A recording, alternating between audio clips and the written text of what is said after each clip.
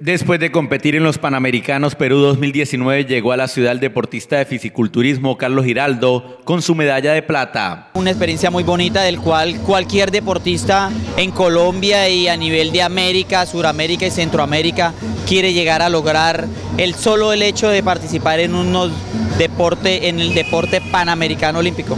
Giraldo representó al país en los Panamericanos gracias al trabajo y el apoyo de amigos y familiares.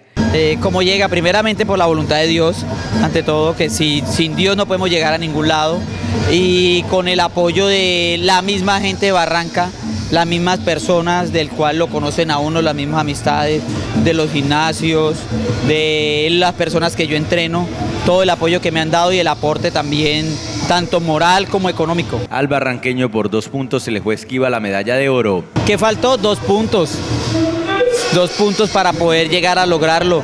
Y pues el error sistemático, como en todo, hubo un error en el sistema y había aparecido una cosa y luego otra. El nivel que se presenció en estas justas fue alto y exigente. Muy buena y, y, aún mayor porque todos los competidores que llegan, llegan con un buen nivel. Algunos han sido también campeones suramericanos, igual que lo fui yo.